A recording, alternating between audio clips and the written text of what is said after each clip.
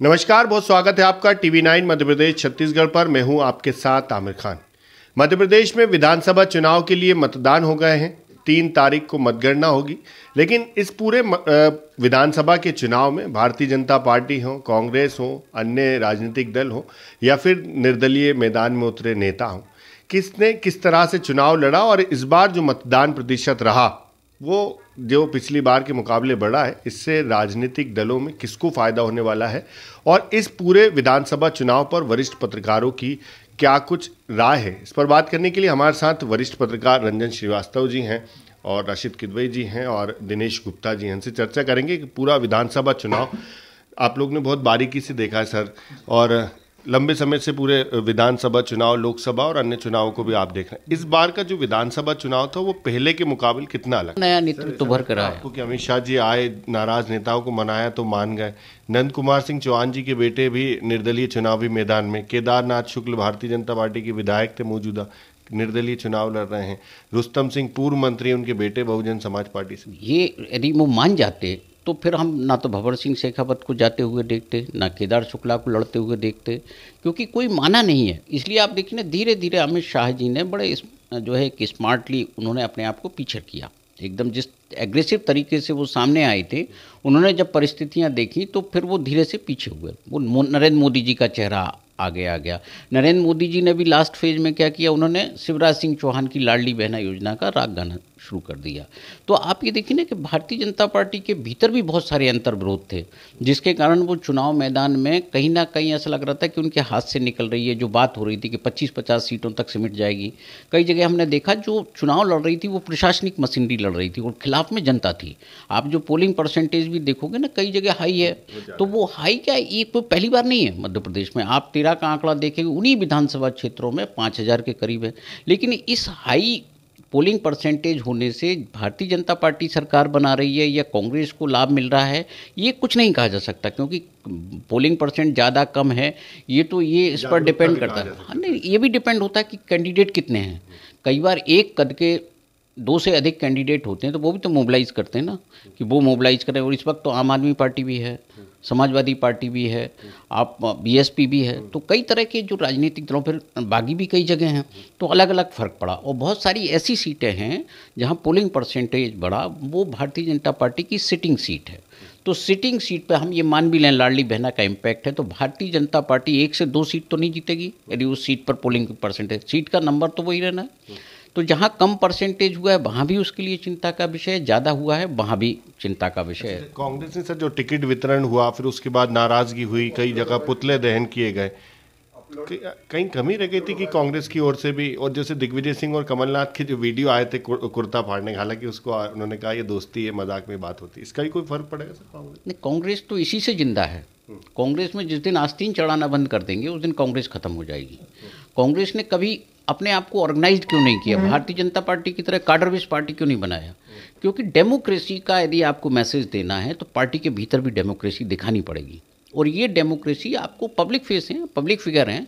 यदि आपके अंतर विरोध है तो सार्वजनिक मंच पर भी आप जनता के साथ आइए ना। कहिए ना कि हाँ हम जनता के साथ। यदि जीएसटी आता है तो जीएसटी का विरोध जो बंद कमरे में भारतीय जनता पार्टी के नेता करते हैं, उनको संसद में करना चाहिए, विप का उल्लंघन करना चाहिए, क्योंकि अल्टीमेटली ये टैक्स जनता पर टैक्स है।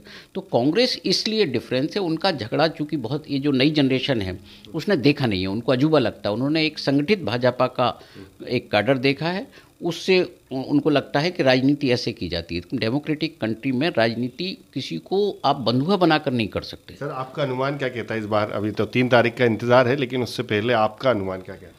नहीं देखिए अनुमान में बहुत सारी चीज़ें अभी जो मैंने कहा है कि यदि प्रशासनिक मशीनरी चुनाव लड़ रही है तो इसको आप बहुत गंभीरता से समझिए। दोनों की कितनी सीट देंगे आप? नहीं सीटों का विषय जब प्रशासनिक मशीनरी चुनाव लड़ रही है जिसका डाटा अभी तक एक हफ़्ते बाद भी बहुत सारा डाटा सामने नहीं है तो क्या चीज़ है कि जिसके कारण छुपा रही हैं?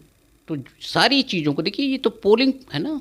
यदि 80 प्लस का जो लोगों ने घर से जाके वोट लिया है तो उसको आज तक पब्लिक क्यों नहीं किया? गवर्नमेंट सर्वेंट का जो पोस्टल वैलिड है, उसका फिगर क्यों नहीं है? तो बहुत सारी ऐसी चीज़ें हैं जिसमें इस स्टेज पर भविष्यवाणी करना शायद थोड़ा सा खतरा ज़्यादा है उसमें। सर, भविष्यवाणी तो नहीं, फिर भी लेकिन आप लोग बेहतर समझते हैं और बहुत सारे चुनाव आपने देखे हैं और ये भी चुनाव बहुत नज़दीक से देखा है। अभी तक कई संभागों की भी आप लोग ने जो बातें की हैं, इसमें अभी तक तीन तारीख का इंतज़ार करें या कुछ अपनी तरफ़ से भी आंकड़े फिगर बनाए कि हाँ इतने आ सकते हैं। जो दिनेश जी ने बातें कही वो बहुत ही मतलब तर्क संगत और बिल्कुल सही टिप्पणी है। देखिए आपको ये भी समझना होगा कि हर चुनाव में पाँच साल की साइकिल में पाँच से सात परसेंट के करीब नया मतदाता जुड़ता है। मध्य प्रदेश के संदर्भ में अगर हम 2003 का रेफरेंस जोड़ें तो अब तक वो ऐसी चार साइकिल की चौथी साइकिल है। तो इसका मतलब ये है कि 25 और 26 परसेंट अट्ठाईस परसेंट मतदाता जो है वो बिल्कुल पहला है जिसने विपक्ष की सरकार ही नहीं देखी। मतलब अगर अब मध्य प्रदेश की जो ये पंद्रह हाँ जो पंद्रह महीने की जो कमलनाथ की सरकार थी जिसको बहुत ही लोगों का हल्का अनुभव हुआ। तो ये एक बहुत बड़ा एक फैक्टर है। देखिए राजनीतिक दल जो है वो बहुत बार अपनी तरफ़ से सारा अगर आप भाजपा की रणनीति देखें तो आपको बहुत सारे प्लस नज़र आएँगे कि अमित शाह आ रहे हैं नरेंद्र मोदी आ रहे हैं आठ लोकसभा के सांसदों को लड़ा दिया तीन केंद्रीय मंत्री को लड़ा दिया। लेकिन राजनीति में ये नहीं होता। आपको वो एक कहानी याद होगी एक वो जो था भुलक्कर टीचर की कि वो एक गणित के टीचर थे और नदी पार कर रहे थे। तो नदी में पानी उफान पे था। तो उन्होंने क्या करा, अपने बीवी बच्चों की सबकी नाप ली और उस नाप के हिसाब से पानी मापा और उसको क्रॉस करने की कोशिश करी। तो सब बीवी बच्चे सब डूब गए और प्रोफेसर साहब ने क्या कहा, हार के बाद राजनीतिक दल ये कह सकता है, हिसाब जूं का दू कुनबा डूबा क्यों? तो ये आपको जो है अभी एक एक कोई नंबर सामने नहीं आ पा रहा कि, कि कितना दोनों का। मुझे लगता है कि एक राजनीतिक दल का जो है वो दो डिजिट में होगा और तीसरा राजनीतिक दल मतलब बिल्कुल बराबर बराबर पे चुनाव का परिणाम नहीं होगा। एक राजनीतिक दल आगे आएगा और मेरा अपना आप आकलन पूछ रहे थे मैं साफ़ कहूँगा मुझे लगता है विपक्ष का बहुत ही अच्छा इम्कान है कि विपक्ष जो है यहाँ सरकार बनाए मतलब सत्ता परिवर्तन होगा। सर आपको क्या लगता है कि जो भी राजनीतिक दल जीत हासिल करेगा वो एक तरफा होगा या फिर निर्दलियों के साथ मिलकर सरकार बनानी पड़ेगी? जैसे 2018 के चुनावी परिणाम आए कांग्रेस 114 लाई भारतीय जनता पार्टी 109 ला पाई बहुजन पार्टी समाजवादी पार्टी और निर्दलियों का भी समर्थन लेकर सरकार बनानी पड़ेगी। जी। देखिए पहली बार आ, मैं मुझे जो लग रहा है जो मैंने दौरा किया है और जो मैंने देखा है सेंटिमेंट्स लोगों का तो जिस पार्टी सरकार बनेगी क्लियर बनेगी। हंग असेंबली नहीं बनने जा रही है। दूसरा ये है कि पिछली बार जैसे दिनेश गुप्ता जी बता रहे थे कि Gwalior Chambal, Congress one sided clean sweep बिंद, भाजपा क्लीन स्वीप इस भी इस बार नहीं होने जा रहा है। जो सेंटिमेंट्स जहाँ विज़िट किए हैं और जो फीडबैक मिल रहा है, लगभग सिमिलर सेंटिमेंट्स हर जगह है। और मैंने हिंट दे दिया है कि एक एंटी इनकम्बेंसी ह्यूज है मतलब सरकार के खिलाफ। और जैसा लेकिन वही जो सीट का नंबर आप पूछ रहे थे अभी तो उसमें गड़बड़ है कि जो अब भागो भागो ठाकुर आया कहीं पे कलेक्टर वोट नहीं डालने दे रहे हैं कहीं पे कुछ हो रहा है ऐसे में सीट का अनुमान लगाना ये बहुत ही लेकिन लेकिन फिर भी जो रशीद साहब ने बोला मैं क्लियर मेजॉरिटी और एक पार्टी को जा रहा है बहुत ही क्लियर इस बार कांग्रेस और भाजपा के अलावा भी कोई जैसे तीसरा मोर्चा या निर्दलीय भी इस बार आने वाले हैं कहीं से बड़ी सीट बिल्कुल देखिए अभी कि पिछली बार जो ग्वालियर चंबल था देखिए हमेशा ट्रायंगुलर फाइट वहाँ पे होता है। पिछली बार दो तीन फैक्टर थे ग्वालियर चंबल में। बीएसपी का जो यूपी से क्लोज जो इलाका है बिंद है बुंदेलखंड है और ग्वालियर चंबल है। वहाँ बीएसपी का भी वजूद है और समाजवादी पार्टी का भी है। ये अलग बात है पिछले कुछ समय में दस बीस साल में मेहनत नहीं किया और चूँकि बाईपोलर पॉलिटिक्स है मध्य प्रदेश का और जो भाजपा और कांग्रेस हो ये उस उस इशू को एड्रेस करते हैं। तो कभी भी जो थर्ड फ्रंट पार्टीज़ हैं वो अपने आप को जमा नहीं पाए। उसके बाद भी जो पिछली बार जो विशेष फैक्टर था वो था कि एक तो माइकलाल फैक्टर जो शिवराज सिंह चौहान ने बोला था। हाँ हाँ आरक्षण वाला जब कोई माइकलाल नहीं छीन सकता। दूसरा जो था अप्रैल टू 2018 का जो वायलेंस हुआ था एस सी एक्ट वाला और थर्ड सिंधिया जी कांग्रेस के साथ थे, ठीक है? वो तीनों फैक्टर इस बार नहीं है। सिंधिया जी भाजपा में है एस सी एक्ट वाला गुस्सा उतना नहीं है, और माइक लाल वाला।